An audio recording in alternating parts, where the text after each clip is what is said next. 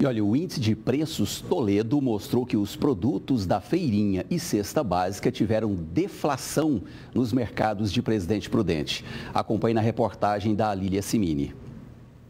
Para a alegria dos prudentinos, alguns produtos de feirinha ficaram mais baratos. Isso de acordo com os dados do Índice de Preços Toledo. A cebola, por exemplo, teve uma deflação de 19,25%. O tomate teve uma queda de 18,53%. Por outro lado, a batata teve uma alta de 30,20%. Cebola deu uma boa baixada. Hoje nós estamos vendendo a R$ 4,00. A batata estamos vendendo a R$ 3,80. 85, o ano passado chegou na, na casa dos R$ reais.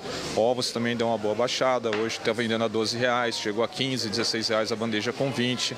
Então são, o sortimento hoje está bem favorável junto com a, a, a questão climática. Né? De acordo com o índice de preços Toledo, o preço da cesta básica também caiu. A deflação é de 1,60% em comparação ao índice anterior realizado neste ano. Os que tiveram queda hoje foram derivados de milho, que é, baixou 41%, óleo de soja baixou 42%, farinha de trigo baixou 33%, café 30%, são alguns itens que realmente baixaram consideravelmente.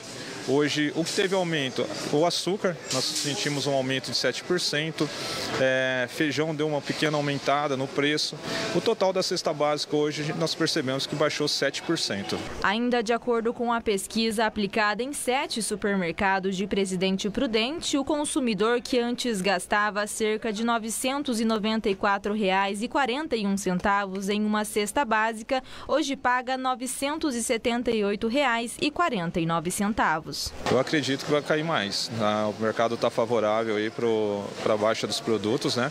É, teve o final da, da pandemia e isso está ajudando bastante. Fertilizantes, como eu disse, já caiu bastante o preço para os fornecedores, então isso vai repercutir no produto final, no preço final do produto. E quem se beneficia são os consumidores que pagam mais barato por esses produtos. Eu notei uma queda de preços, tá? Assim, em vários produtos, então assim, principalmente no, no, nas frutas.